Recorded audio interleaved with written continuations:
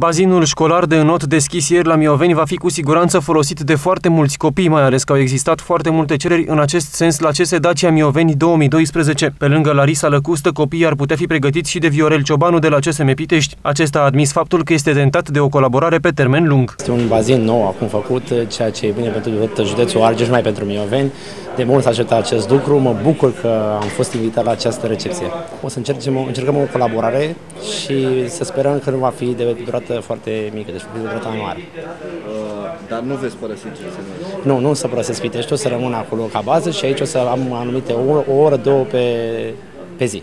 Viorel Ciobanu îl pregătește de câțiva ani și pe Bogdan Scarlat, sportiv originar din Mioveni și consideră că acum orașul poate propune și alți copii de talent, mai ales că există și un bazin. La Bogdan, care este multiplu campion național, este din Mioveni băiatul, cum el îl pregătesc și nu numai el și o să fie și alți copii, dar timpul va rezolva absolut tot. Darea în folosința bazinului din Mioveni este încă o dovadă a faptului că autoritățile locale sprijină cu consecvență sportul de masă pentru copii și tineri.